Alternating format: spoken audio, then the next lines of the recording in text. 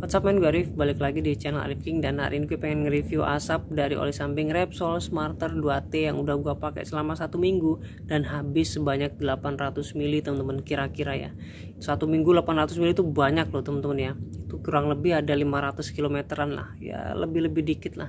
Itu kemarin gue memang banyak banget acara Dan juga memang karena olinya enak Jadi gue jalan mulu teman-teman. Ketagihan gitu intinya lah dan terima kasih banyak buat Mas Yoga ya. Kemarin gue tuh dikasih cuma-cuma oli Repsol ini padahal harganya mahal dan gue dikasih. Gue kira bercanda ternyata beneran teman-teman.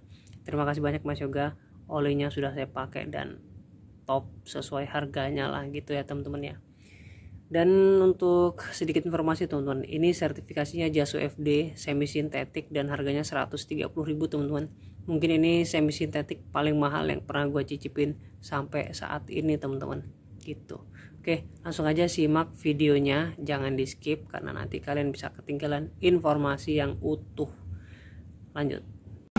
Asap ketika setelan standar dan mesinnya dingin teman-teman. Ini dingin. Baru banget gua nyalain teman-teman. Dan dia benar-benar tipis. Sesuai ekspektasi dan sesuai spek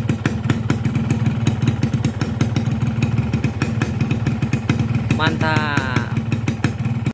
Asap dari Repsol Smarter 2T. Pada saat mesin dingin aja asapnya udah tipis banget. Padahal ini gua pakai estelan basah. Tapi asapnya tipis banget men. Gokil memang. Memang harga nggak bisa bohong teman-teman. Hampir nggak kelihatan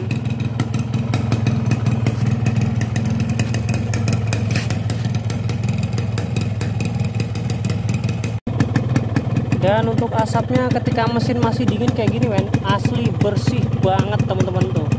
Ini mesin dingin ya ini baru gua nyalain banget ini habis hujanan teman-teman. Dan ini asapnya bersih banget padahal ini setelan basah teman-teman. Asli parah sih emang oli. Aduh. Ini baru jaso FD beneran nih ya kan gokil sih men.